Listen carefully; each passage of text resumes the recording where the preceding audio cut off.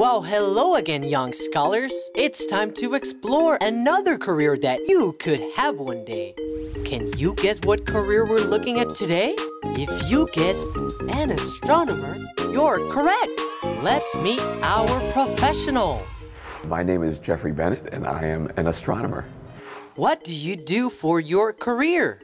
As an astronomer, we study everything about space planets, stars, galaxies, the whole universe. What was your inspiration? I was very inspired by watching the Apollo astronauts walk on the moon back when I was a kid.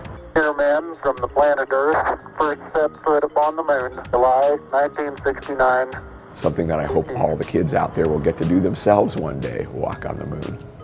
What tools do you use to get the job done? Astronomers use all kinds of telescopes for different types of light, some in space, some on the ground.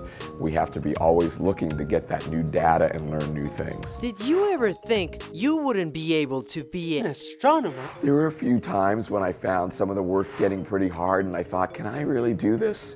But you just have to keep pushing because you can as long as you work at it. How has your career helped you with being successful?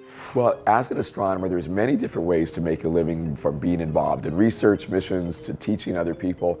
And also, it's really a, a, great thing to study because even if you decide later you don't want to be an astronomer, all the things you've learned, the math, the computer skills, the science, you can get other jobs. You'll always have some kind of job if you study this. What's the coolest part of your job? Funnest thing about my career is that everything we learn about is just amazing. The planets, the stars, galaxies, the universe, it's just always blowing my mind. What an amazing career! Also, use your focus, super skill to get the job done.